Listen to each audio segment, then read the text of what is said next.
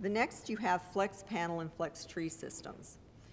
In order to get around the problem of saddle fit with a rigid tree, uh, Len Brown developed a flex panel system, which sounds good on the face, and it- that it would flex as the horse moved.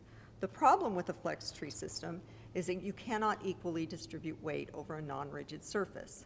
Unfortunately, they are not exempt from the Newton's third law of physics, which says for every action, there's an equal and opposite reaction. Simply put, you can't isolate flex. If it flexes here the, to allow your horse's shoulder to move, it has to bend somewhere else. So for every pound of pressure relief you get in one spot, you get an equal amount of pressure in a different spot. It doesn't matter where you flex it, how you flex it, you're still going to get that same flex and bend. So if you have five pounds of relief here, you have five pounds of pressure in the bend. So the system sounds good. All it really does is move pressure. It doesn't eliminate it.